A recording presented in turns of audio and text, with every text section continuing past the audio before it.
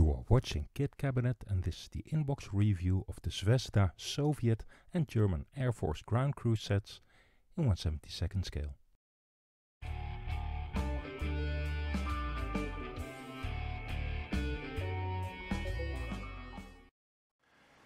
The Zvezda ground crew sets, the German and the Soviet one, are actually part of Zvezda's tactical game set, the Art of Tactic, but they're also ideal for an airfield diorama.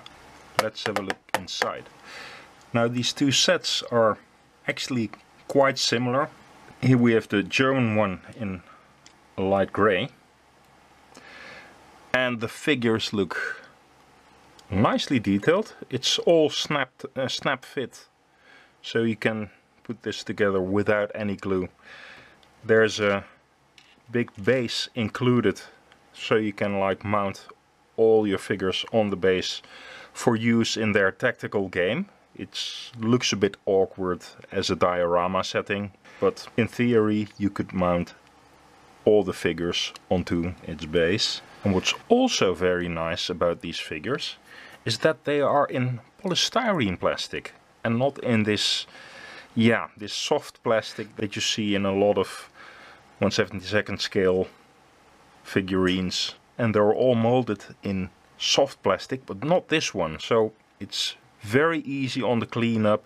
You can convert things a little bit without parts bending in weird ways so that's very nice. Ideal for making a nice airfield diorama setting.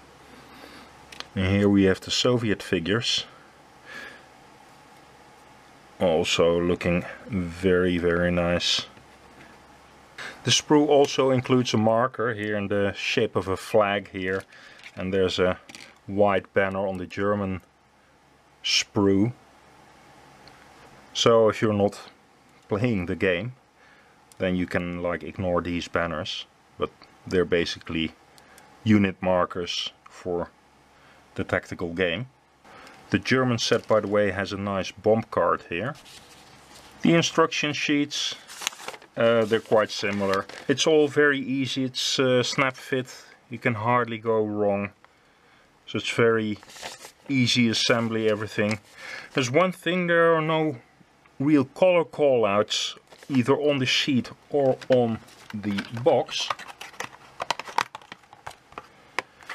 So the only color reference that you have is like on the box art.